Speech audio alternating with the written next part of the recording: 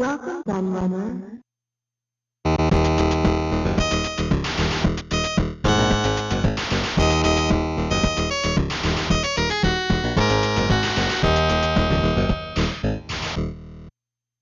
Following on from the original Magnavox Odyssey, the very first home console, which was designed by the one and only Ralph Baer and released in 1972, this follow up was first released as the Philips Videopac in Europe in December 1978, with the renamed North American Odyssey 2 following shortly afterwards in February 1979. It was also released in Japan in 1982, as well as Brazil some five years later in 1983 as the Philips Odyssey, which is interesting as it combined the two names. It was also very successful in Brazil too, perhaps more so than it was in Europe and North America. Total lifetime sales for the console were a pretty respectable 2.2 million units, putting it in third place in its generation, just behind the Intellivision and way behind the Atari 2600. But despite these pretty impressive stats, the console doesn't seem to be very well known by today's retro gamers, and so it's relatively cheap and easy to obtain and collect for. This makes it the perfect candidate for one of my amazing exclusives videos, where I hope to highlight 10 of its best games that are also exclusive to the system, which will surely encourage you to add one to your collection, just as I did some years ago in fact. Check the links in the description if you want to see my review of the Videopac, footage of more games, or indeed my amazing facts video on the console. But I don't want to go into too much detail about its history here because that's well covered in the other videos that I just mentioned. This one is all about the games. So with that in mind, it's time to get on with the show as I proudly present 10 amazing Philips Videopac and Magnavox Odyssey 2 exclusives.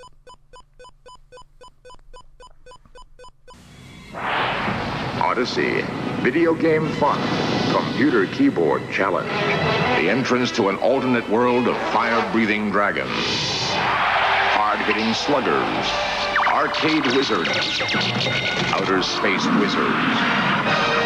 More than 40 games in all.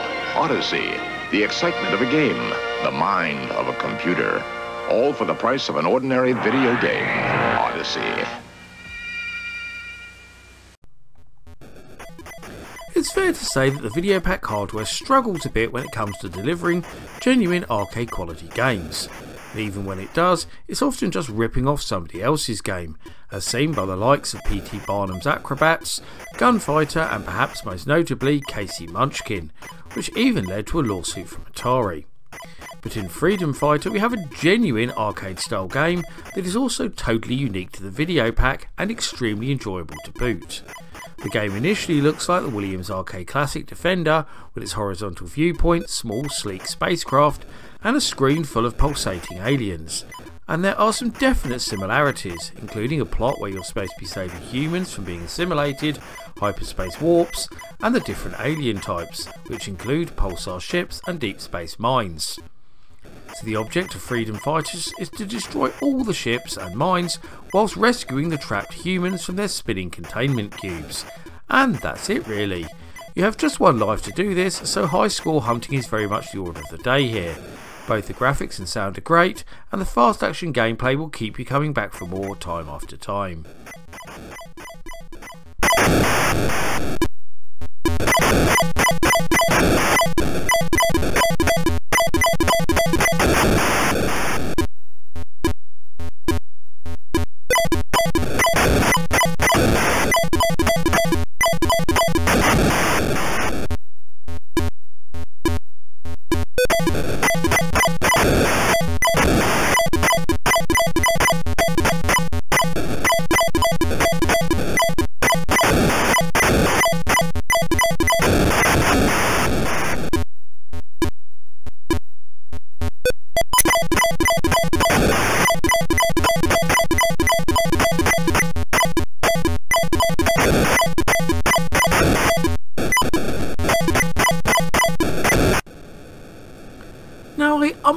Ahed over whether I should put this one in here, because it's not wholly original.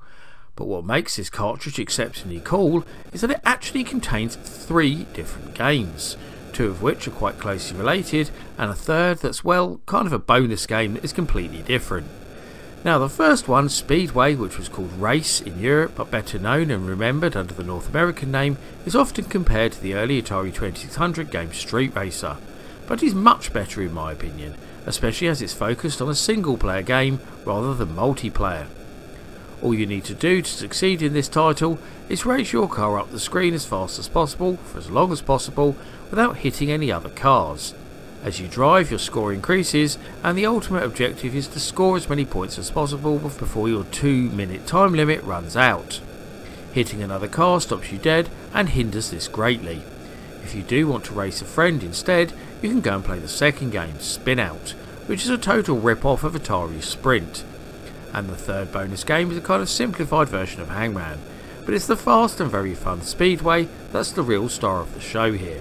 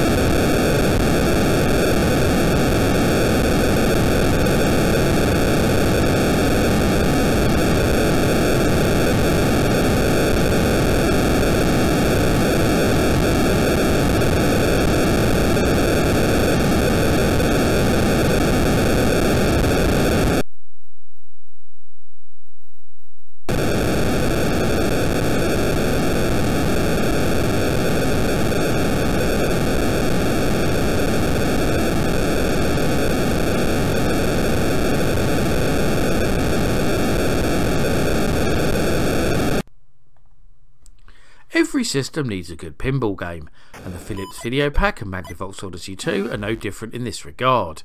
Thankfully, Thunderball, or Flipper Game to use its incredibly boring and far less appealing European name, is exactly that. In fact, for such an early release, I was really impressed by what this game has to offer. It's certainly a lot better than Video Pinball for the rival Atari 2600, which was released around the same time. You see, this game has one really unique and original feature that I've never seen in any other pinball simulator the ability to move your flippers from side to side. This effectively means that losing the ball is always your fault, taking out that unfair element of chance that these games always have. So you'll always have a gap between your flippers and one to either the left or right of them, but by moving them you can change where the gaps are, meaning it's always possible to return the ball to the playfield and keep on scoring. And speaking of scoring, there's plenty to hit here too, including bumpers, spinners, and targets. Not to mention there's a great multiplayer mode in here too.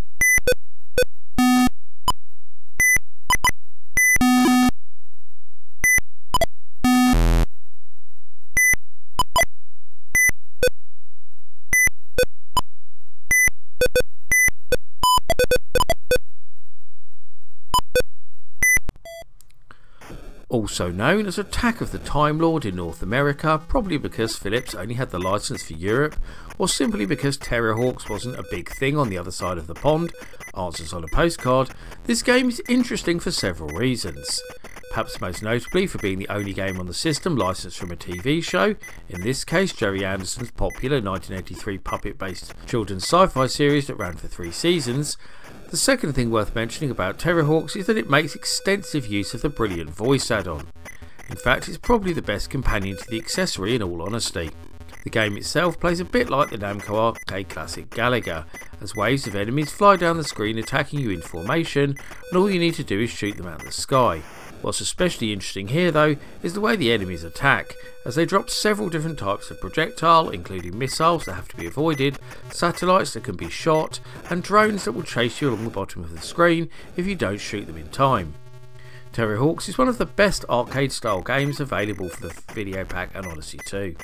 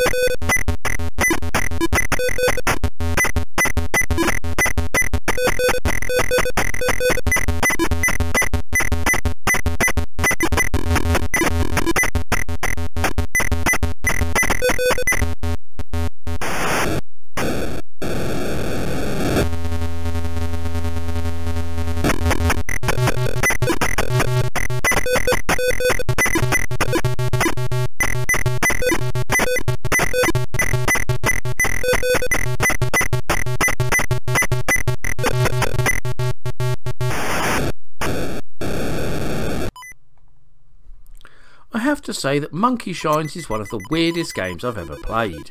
In fact, it's absolutely bonkers. But it says a lot about it that when I came to writing this list, it was the very first Videopac game I thought of. In essence, it's a two player platform game where you compete against a friend in spanking the monkey. Okay, so perhaps that's the wrong term, but it made me laugh anyway. I'll try and explain things a bit better because even the video footage doesn't make it clear. You'll see these naughty monkeys jumping and climbing around the many platforms on the screen. You have to try and catch these pesky primates. Once caught, you have to tag them using the action button, at which point you can throw them. And this is where it gets clever, because once you throw a monkey, it goes into a rage and then tries to tag you back. The player who tags the most monkeys before getting tagged back wins, so throwing them at the opposing player becomes a key tactic. There are also loads of different game variations to make things more interesting, including moving platforms and the ability to create your own. Monkey Shines is one of the best multiplayer games on the system.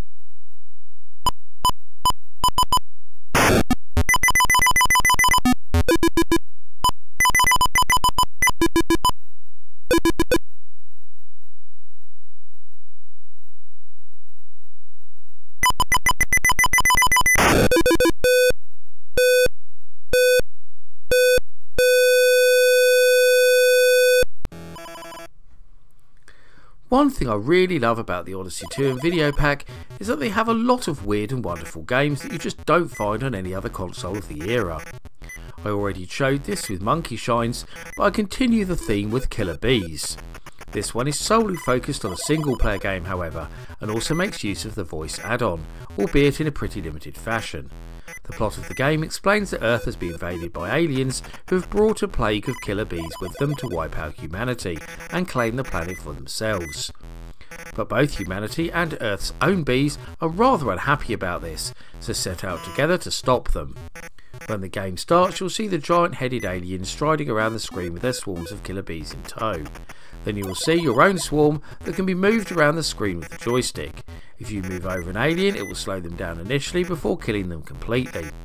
However, their bees will try to stop you, and any contact with the killer bees will cause you to lose a life. You aren't completely helpless though, you can stop these swarms by zapping them. This can only be used once before recharging, which will happen when you remove all the aliens and complete the level. This is fun, fast and very furious.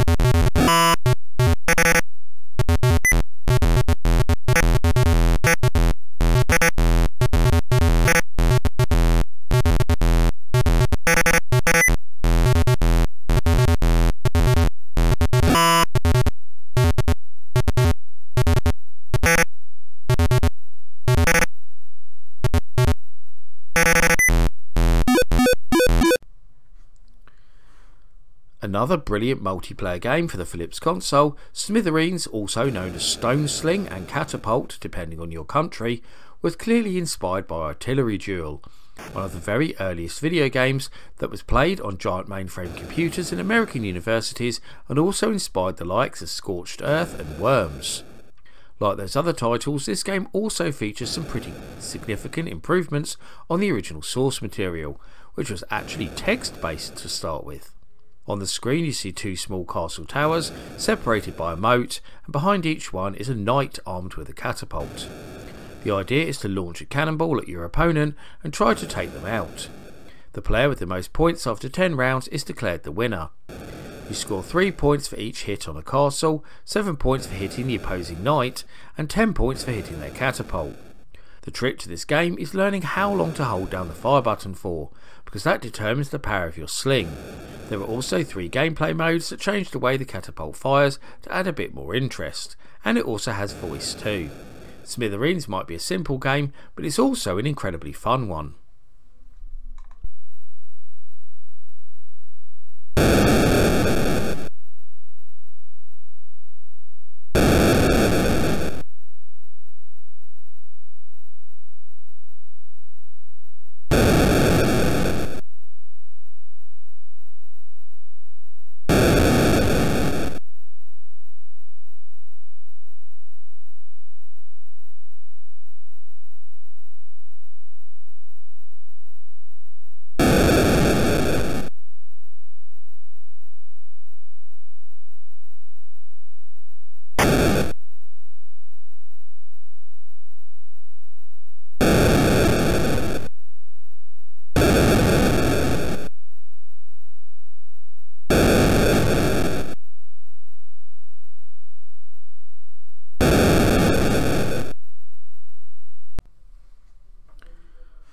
Also known as Satellite Attack.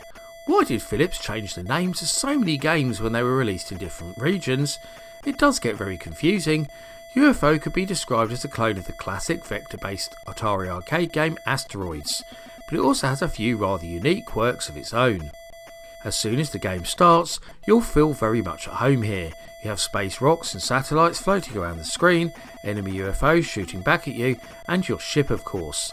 Then you simply fly around the screen shooting everything you see and trying to survive as long as possible. All very much like Asteroids so far, I'm sure you'll agree. But there are two very big changes that make the game feel very different, with the first of these being very obvious to anyone watching this video. The space rocks don't split into smaller parts, they simply disappear once shot. The second and arguably more major change comes in the way you shoot, as you have to rotate your gun into place rather than the ship like in Asteroids. This change makes the game much harder as you spend just as much time avoiding enemies as you do shooting them. It takes a while to master, but it's certainly worth it.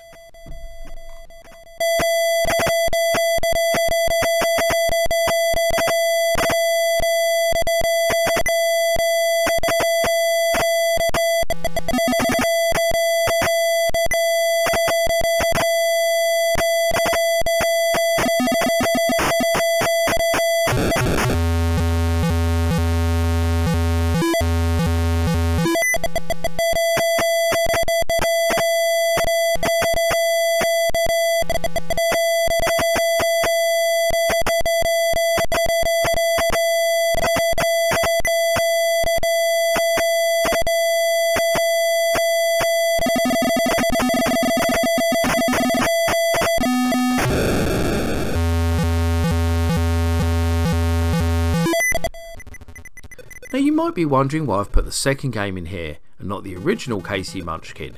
Well, I'm sure that many, if not most of you, will be surprised to learn that KC Munchkin wasn't actually a Videopac exclusive. It also appeared on the obscure Philips VG 5000 computer too.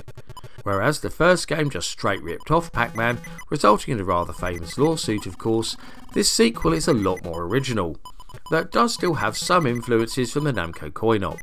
In fact, a lot of people describe Crazy Chase as a cross between Pac-Man and Centipede, and they aren't far off the mark. The idea is to chase a multi-sectioned creature around a maze, trying to chomp all its parts. You can only chew on it from behind however, any contact with its head will kill you instantly. Then there are the other enemies who also roam around the maze trying to kill you. But what is very clever here is that those centipede sections also act like power pills, allowing you to turn the tables and take them out. If you want to gain some bonus points, you can also eat the trees, although this slows you down. This rightly deserves its reputation as one of the Videopac's very best games.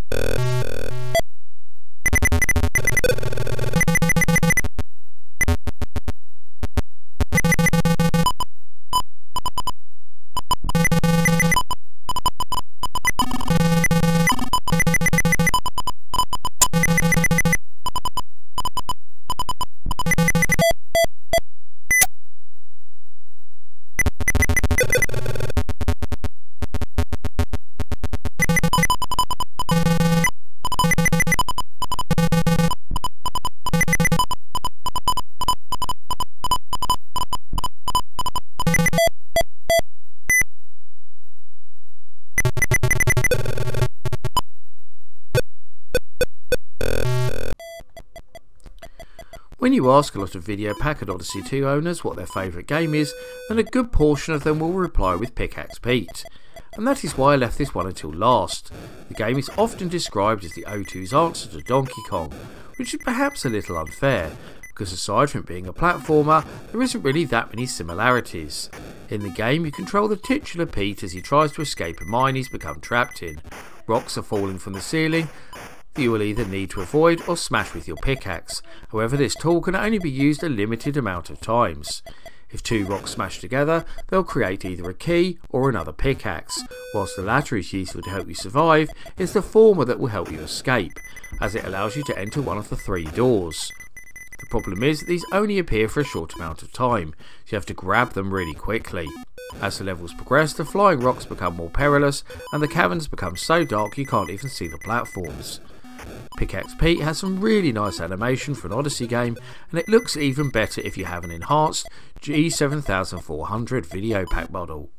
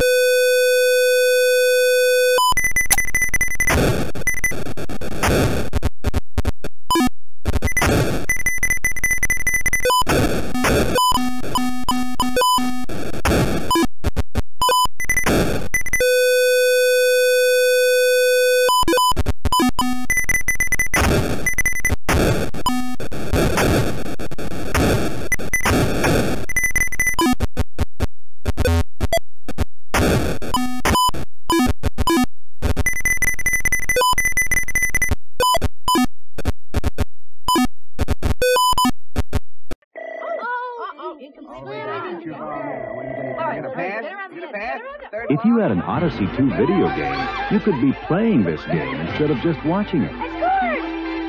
There are over 30 exciting, entertaining, and educational Odyssey games. And you don't have to buy any keyboard add-ons, because Odyssey gives you a complete computer keyboard. Odyssey 2, another bright idea from Magnavox.